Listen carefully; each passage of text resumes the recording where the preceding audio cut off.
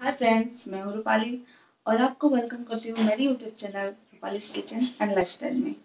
ये है मेरा यूट्यूब का पहला वीडियो और आज जो मैं बनाने जा रही हूँ, वो है तंदूरी चिकन तो चलिए बनाना स्टार्ट करते हैं।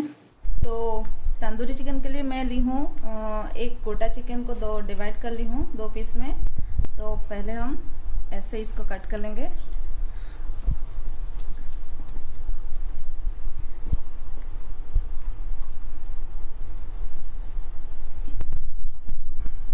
फिर हम एक बॉल लेंगे। उसमें चार चम्मच दही। और आप पाँच चम्मच भी ले सकते हैं। उसके बाद दो चम्मच अदरक लहसुन का पेस्ट।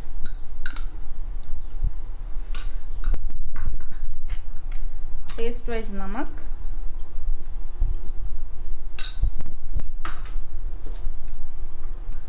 हल्दी पाउडर। मिर्चा पाउडर। अगर आपको झाल ज़्यादा पसंद तो आप ज़्यादा मिर्चा पाउडर भी ले सकते हैं।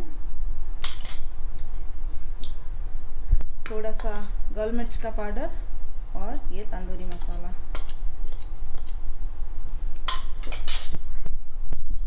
और एक फल नींबू भी निचल लेंगे।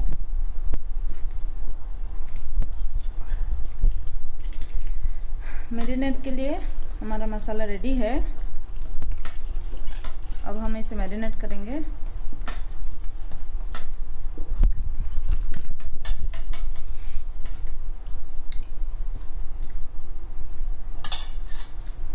अच्छे से इसके अंदर अंदर देख के मैरिनेट करेंगे ताकि मसाला अच्छे से अंदर तक जाए और हमारा चिकन जो है अच्छा बने।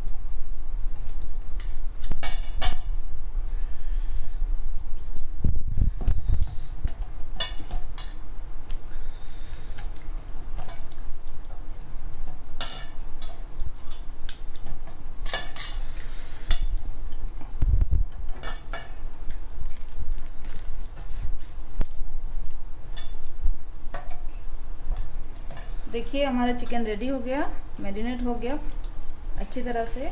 अभी हम 15-20 मिनट के लिए इसे रख देंगे। देखिए, अभी मैरिनेट हो गया है। इसे जैसे हम मैं कट करके मैरिनेट की थी सेम टाइप इसे भी कर दी हूँ। अभी हम इसे स्टीम करेंगे। स्टीम करने से पहले हम थोड़ा सा धनिया पत्ती ऐसे इसमें अंदर घुसा के घुसा देंगे ताकि वो जो स्मेल आएगा, बहुत ही टेस्टी होगा। बहुत ही अच्छा बनेगा। थोड़ा मिर्चा भी ऐसे करके इसके अंदर डाल देंगे। सेम दूसरे में भी ऐसे ही कर देंगे।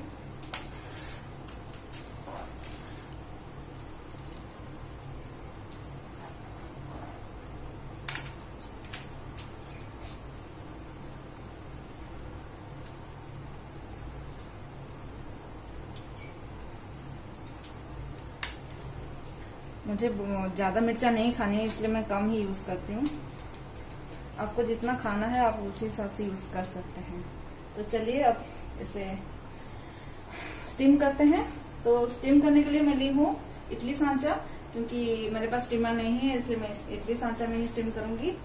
तो आप, आपके पास अगर स्टीमर होगा तो आप उसमें भी कर सकते हैं या तो आप इडली सांचा में भी कर सकते हैं।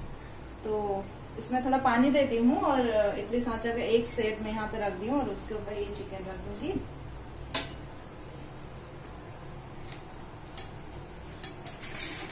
दूसरा वाला चिकन भी ऐसे ही रख दूँगी, अच्छे से सेट करके।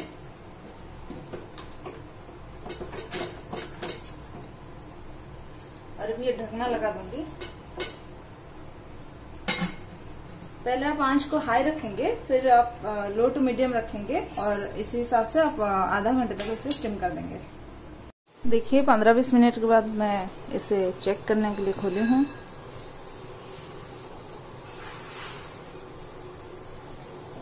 अच्छे से पक गया है ये। अभी हम इसे फ्राई करेंगे। फ्राई करने के लिए मैं यूज़ क्यों? रिफाइन ऑयल आप चाहे तो घी भी यूज़ कर सकते हैं या मस्टर्ड ऑयल भी यूज़ कर सकते हैं।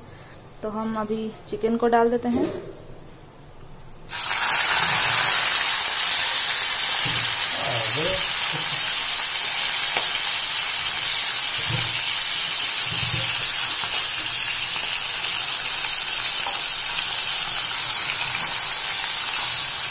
इसे ढक देते हैं।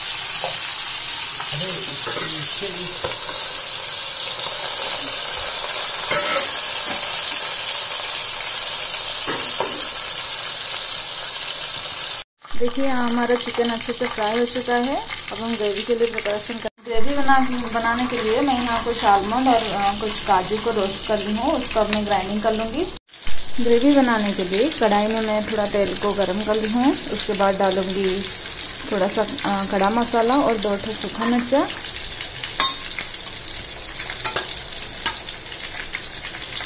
हो जाने के बाद जो मैं काजू और आलमंड को रोस्ट की थी, उसको ग्राइंडिंग कर ली हूँ अच्छे से। इसको अब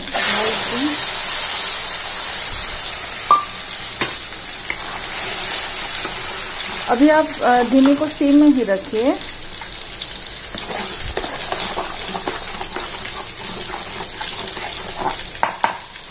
सीम में थोड़ा सा पकने दीजिए। अब हम इसमें ऐड करेंगे थोड़ा सा हल्दी पाउडर। थोड़ा सा मिर्चा पाउडर। और टेस्ट वाइज नमक।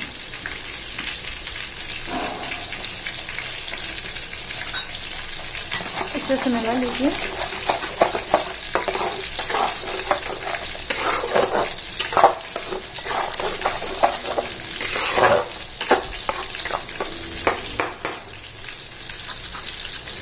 देखिए, मेरा तंदूरी चिकन बन के रेडी है। दिखने में कितना यम्मी लग रहा है और खाने में भी बहुत ही टेस्टी है। तो मेरा तंदूरी चिकन बन के रेडी है। अगर आपको ये रेसिपी पसंद आए तो लाइक कीजिए सब्सक्राइब कीजिए और अपने फ्रेंड्स के साथ शेयर कीजिए। और मेरे अगले रेसिपी के इंतज़ार कीजिए। तब तक के लिए बाय बाय